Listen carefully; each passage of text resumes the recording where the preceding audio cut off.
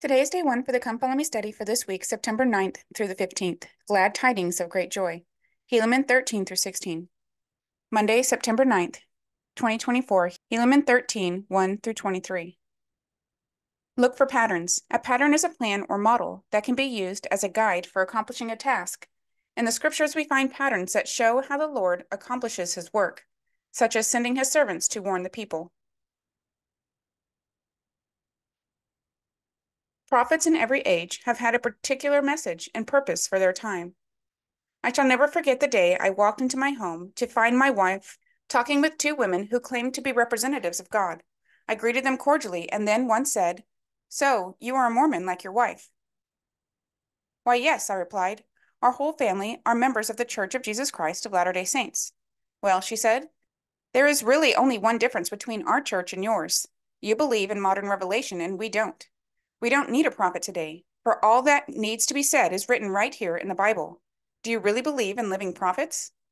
Seeing a chance to bear my testimony, I said, Yes, I believe very much in living prophets. In fact, I know that God has called prophets in our day to guide and direct his children. With a look of disbelief on her face, she countered, Well, give me one good reason why we need a living prophet today. How would you respond? Perhaps the answer to this question can be found in the answer to another ever more basic question. What is the role of a prophet? Once we understand the role of a prophet, the answer to why we need one should be apparent. Using your study of Helaman 13 through 16, use the example of Samuel the Lamanite to discover the calling of a prophet of God. The gospel of Jesus Christ offers all people the opportunity to change. Throughout much of the Book of Mormon, the Lamanites' deeds had been evil, However, the preaching of the Nephites led the more part of them to receive the gospel and experience a mighty change of heart. Here in the book of Helaman is an obvious reversal of roles. A people who had once been taught became the teachers. Many Nephites, on the other hand, had become prideful and ignored their own prophets. So the Lord sent a Lamanite prophet to warn them to repent and prepare for the coming of the Lord. Look for the Nephites' collective and individual response to the Lord's Lamanite messenger. Samuel's words were important enough for the Savior that he endorsed them during his personal ministry in the Americas and testified they had all been fulfilled. The first time Samuel the Lamanite tried to share glad tidings in Zarahemla, he was rejected and cast out by the hard hearted Nephites. You might say it was as if they had built an impenetrable wall around their hearts that prevented them from receiving Samuel's message. Samuel understood the importance of the message he bore and demonstrated faith by following God's commandment that he should return again and prophesy. Samuel the Lamanite came to Zarahemla commissioned by an angel to proclaim God's word. For many days he attempted to give the Lord's message, but few would hearken. Was it because he was a Lamanite, come to teach the elect Nephites the gospel? Or was it his message, his teaching that if they repented, they would partake of great blessings, even a personal visitation from the Lord. Whatever the reason, he was rejected, dishonored, and cast out from among them. Then came the voice of the Lord to Samuel. He was to return to Zarahemla.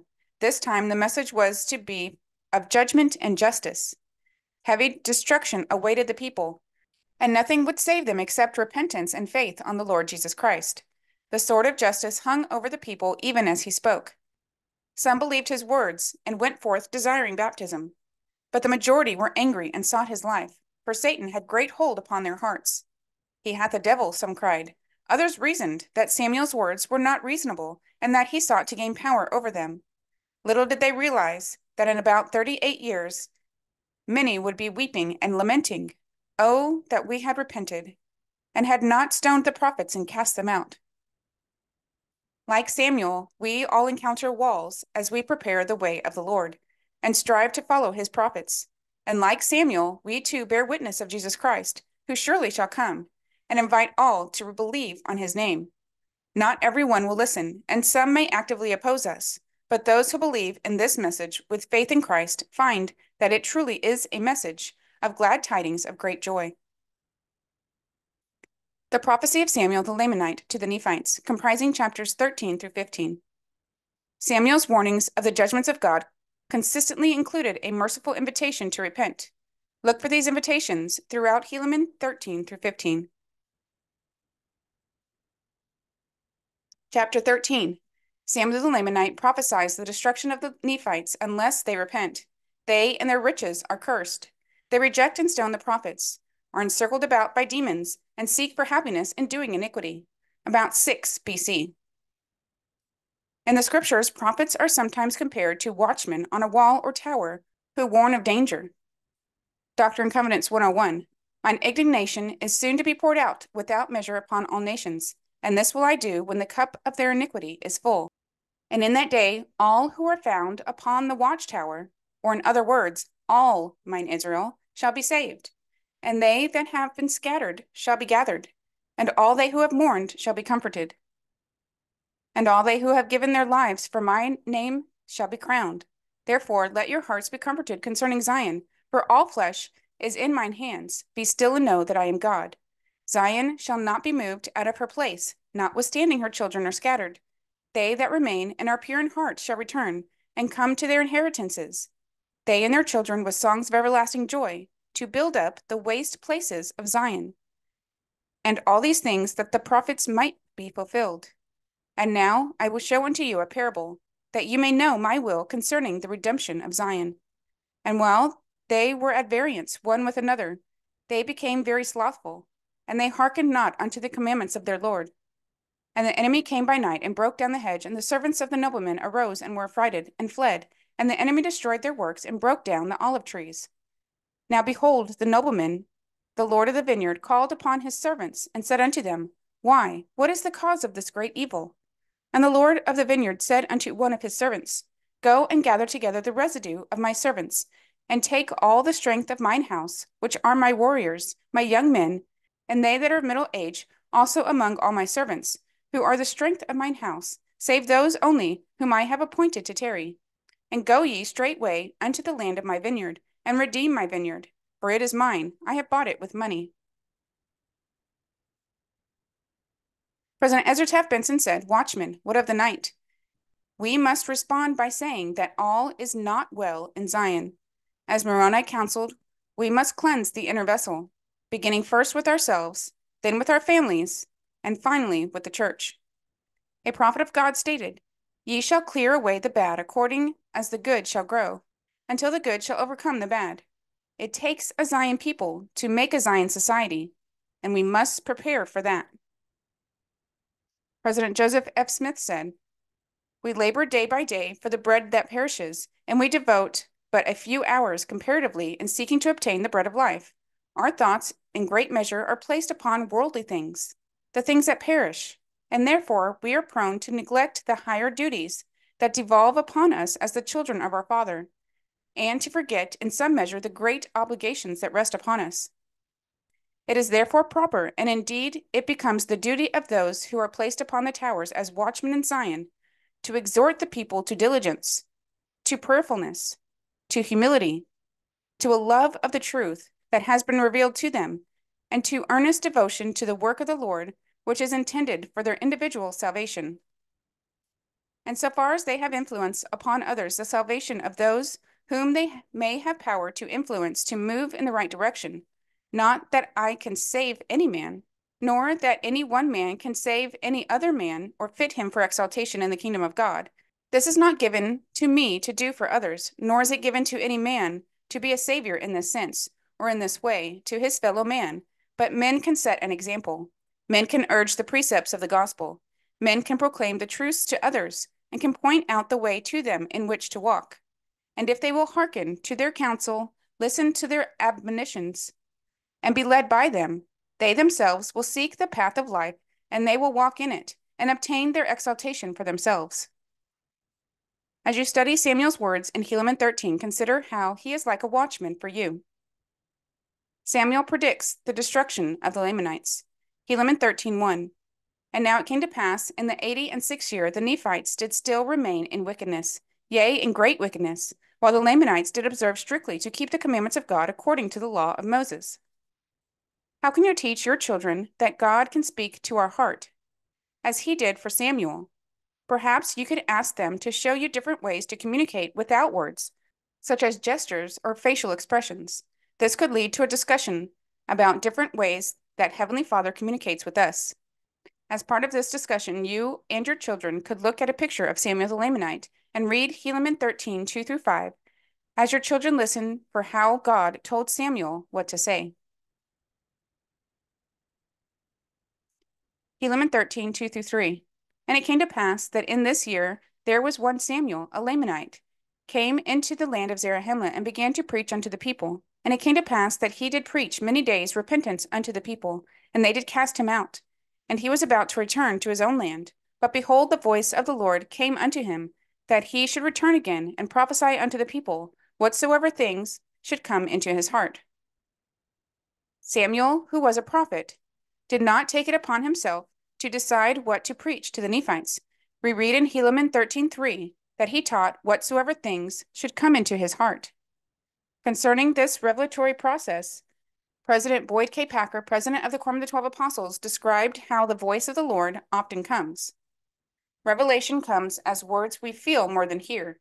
Nephi told his wayward brothers, who were visited by an angel, Ye were past feeling, that ye could not feel his words. The scriptures are full of such expressions as the veil was taken from our minds, and the eyes of our understanding were opened.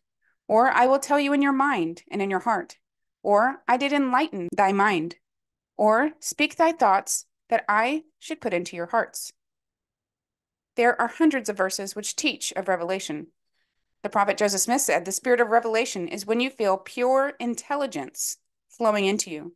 It may give you sudden strokes of ideas so that by noticing it, you may find it fulfilled the same day or soon.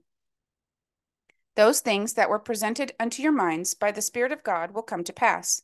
And thus, by learning the Spirit of God and understanding it, you may grow into the principle of revelation until you become perfect in Christ Jesus. Helaman 13, 4 through 5. And it came to pass that they would not suffer that he should enter into the city. Therefore he went and got upon the wall thereof, and stretched forth his hand, and cried with a loud voice, and prophesied unto the people whatsoever things the Lord put into his heart. And he said unto them, Behold, I, Samuel, a Lamanite, do speak the words of the Lord, which he doth put into my heart. And behold, he hath put it in my heart to say unto this people that the sword of justice hangeth over this people. And four hundred years pass not away, save the sword of justice falleth upon this people. Where do prophets receive their message? Could our society benefit from a prophet who spoke directly with God?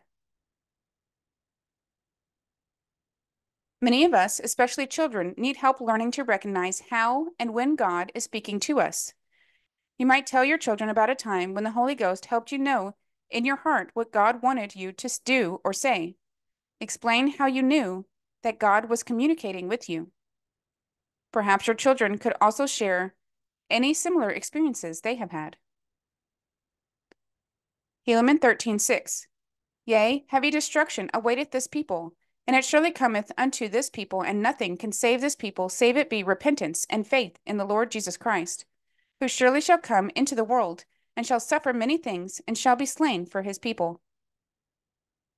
What special message are prophets called to give to people? Is our society in need of this today? Helaman 13, 7 through 8. And behold, an angel of the Lord hath declared it unto me, and he did bring glad tidings to my soul. And behold, I was sent unto you to declare it unto you also, that ye might have glad tidings, but behold, ye would not receive me. Therefore, thus saith the Lord, because of the hardness of the hearts of the people of the Nephites, except they repent, I will take away my word from them, and I will withdraw my spirit from them, and I will suffer them no longer and I will turn the hearts of their brethren against them. President Wilford Woodruff said, Joseph Smith visited me a great deal after his death and taught me many important principles. Among other things, he told me to get the Spirit of God, that all of us need it. He said, I want you to teach the people to get the Spirit of God. You cannot build up the kingdom of God without that. But how is it with the Holy Ghost? The Holy Ghost does not leave me if I do my duty. It does not leave any man who does his duty. Helaman 13, 9. And four hundred years shall not pass away before I will cause that they shall be smitten. Yea, I will visit them with the sword, and with famine, and with pestilence. Because of the righteous, the wicked are temporarily spared. Helaman 13:10. Yea, I will visit them in my fierce anger, and there shall be those of the fourth generation who shall live, of your enemies, to behold your utter destruction. And this shall surely come, except ye repent, saith the Lord, and those of the fourth generation shall visit your destruction. The Book of Mormon records in Mormon 6 the final destruction of the Nephites. This happened about 400 years from the time Samuel made this prophecy. Samuel, like all prophets of God, had the spirit of prophecy and revelation, which gave him power to discern the future. Helaman 13:11 But if ye will repent and return unto the Lord your God, I will turn away mine anger, saith the Lord. Yea, thus saith the Lord, Blessed are they that will repent and turn unto me, but woe unto him that repenteth not. Helaman 13, 6 through 11. What do you learn from these verses about repentance? Helaman 13, 12 through 14. Yea, woe unto this great city of Zarahemla, for behold, it is because of those who are righteous that it is saved. Yea, woe unto this great city, for I perceive, saith the Lord, that there are many Yea, even the more part of this great city that will harden their hearts against me, saith the Lord. But blessed are they who will repent, for them will I spare. But behold, if it were not for the righteous, who are in this great city, behold, I would cause that fire should come down out of heaven and destroy it. But behold, it is for the righteous' sake that it is spared. But behold, the time cometh, saith the Lord, that when ye shall cast out the righteous from among you, then shall ye be ripe for destruction. Yea, woe be unto this great city, because of the wickedness and abominations which are in her. The earth is cursed to the Nephites. Helaman 13, 15 through 16. Yea, and woe be unto the city of Gideon, for the wickedness and abominations which are in her. Yea, and woe be unto all the cities which are in the land round about, which are possessed by the Nephites, because of the wickedness and abominations which are in them. There have been times the wicked were spared from terrible destructions because there were righteous people living among them. The wicked people of Zarahemla had the righteous people to thank for their preservation from destruction, though, of course, they did not know it. In a few years, Zarahemla lost this silent and unappreciated protection, and Samuel's words were fulfilled. Even Sodom and Gomorrah would have been spared if only 10 righteous people had lived there. How we live really does make a difference. The personal righteousness of a few can become a great blessing to others, especially to those in our own family and local community. Helaman 13, 17 through 21. And behold, a curse shall come upon the land, saith the Lord of hosts, because of the people's sake who are upon the land, yea, because of their wickedness and their abominations. And it shall come to pass, saith the Lord of hosts, yea, our great and true God, that whoso shall hide up treasures in the earth shall find them again no more, because of the great curse of the land, save he be a righteous man, and shall hide it up unto the Lord. For I will, saith the Lord, that they shall hide up their treasures unto me. And cursed be they who hide not up their treasures unto me. For none hideth up their treasures unto me, save it be the righteous. And he that hideth not his treasures unto me, cursed is he, and also the treasure, and none shall redeem it because of the curse of the land. And the day shall come that they shall hide up their treasures, because they have set their hearts upon riches, and because they have set their hearts upon their riches, and they hide up their treasures, when they shall flee before their enemies, because they will not hide them up unto me. Cursed be they, and also their treasures. And in that day shall they be smitten, saith the Lord. Behold ye the people of this great city, and hearken unto my words, yea, hearken unto the words which the Lord saith. When Samuel said, Hearken unto my words, wasn't he indicating that prophets represent Christ? Do we need representatives of the Lord today? Do we not need prophets to learn of Christ? Doctrine and Covenants 1. What I, the Lord, have spoken, I have spoken, and I excuse not myself. And though the heavens and the earth pass away, my word shall not pass away, but shall all be fulfilled, whether by mine own voice or by the voice of my servants, it is the same. At the time of the organization of the restored church, Christ spoke similarly. Doctrine and Covenants 21. Wherefore, meaning the church, thou shalt give heed unto all his, Joseph Smith's words and commandments, which he shall give unto you, as he receiveth them, walking in all holiness before me. For his word ye shall receive, as if from mine own mouth, in all patience and faith. Helaman 13, 21 continued in 22. For behold, he saith that ye are cursed because of your riches, and also are your riches cursed because ye have set your hearts upon them, and have not hearkened unto the words of him who gave them unto you. Ye do not remember the Lord your God in the things with which he hath blessed you, but ye do always remember your riches, not to thank the Lord your God for them. Yea, your hearts are not drawn out unto the Lord, but they do swell with great pride, unto boasting, and unto great swelling, envyings, strifes, malice, persecutions, and murders, and all manner of iniquities.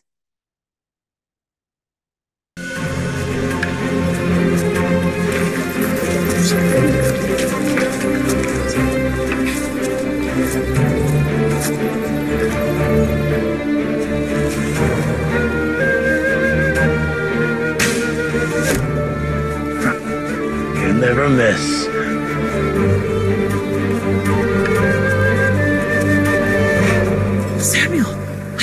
The city. Stop!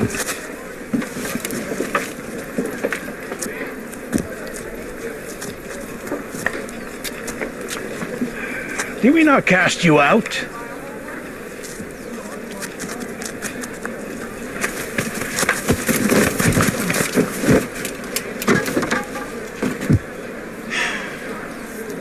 Next time, we will not be so kind.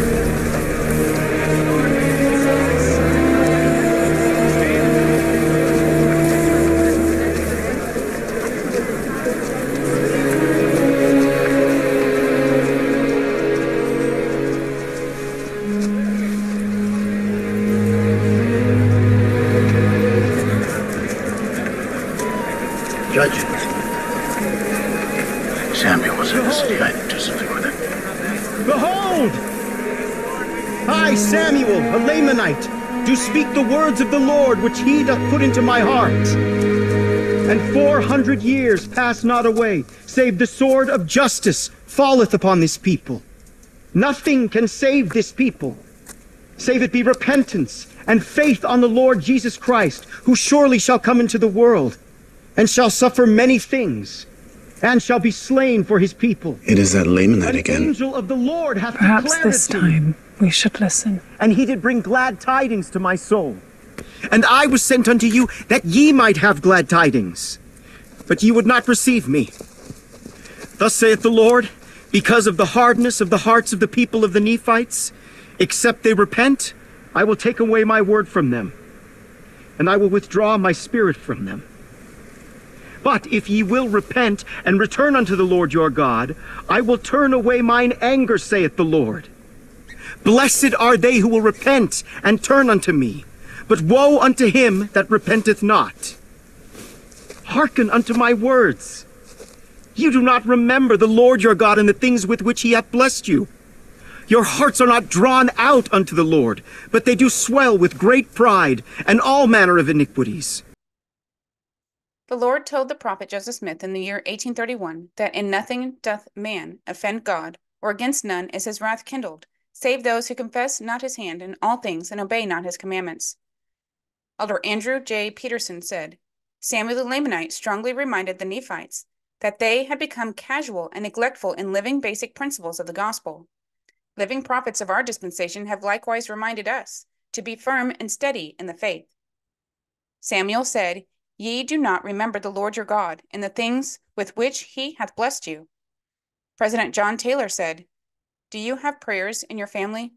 And when you do, do you go through the operation like the grinding of a piece of machinery, or do you bow in meekness and with a sincere desire to seek the blessing of God upon you and your household?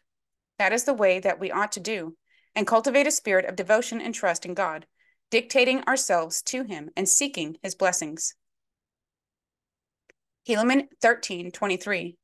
For this cause hath the Lord God caused that a curse should come upon the land and also upon your riches, and this because of your iniquities.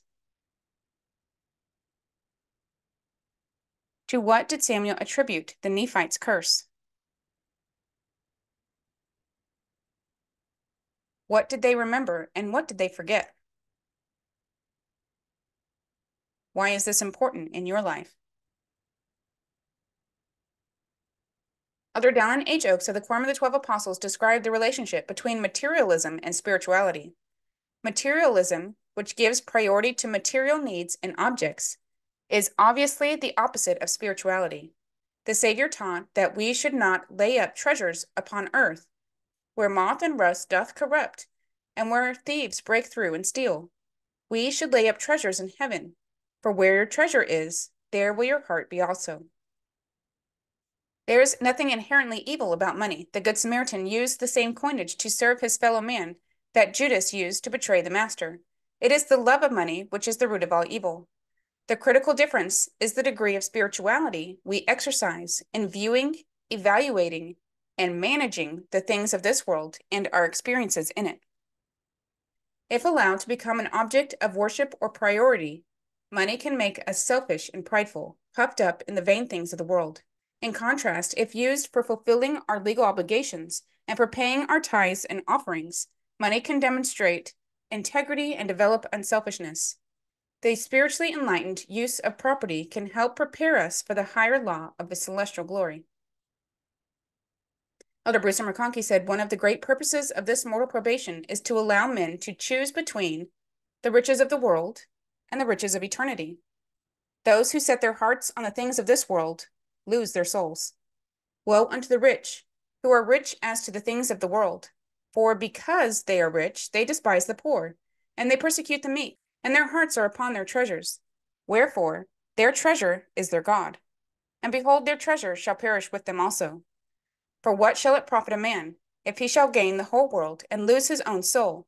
Or what shall a man give in exchange for his soul? Those who set their hearts on the things of the Spirit inherit eternal riches, which consist of eternal life. 1 Timothy 6 But they that will be rich fall into temptation and a snare, and into many foolish and hurtful lusts, which drown men in destruction and perdition. Psalm 119 Incline your heart into thine testimonies, and not to covetousness. Doctrine Covenant 6 Seek not for riches, but for wisdom. And behold, the mysteries of God shall be unfolded unto you, and then shall ye be made rich. Behold, he that hath eternal life is rich.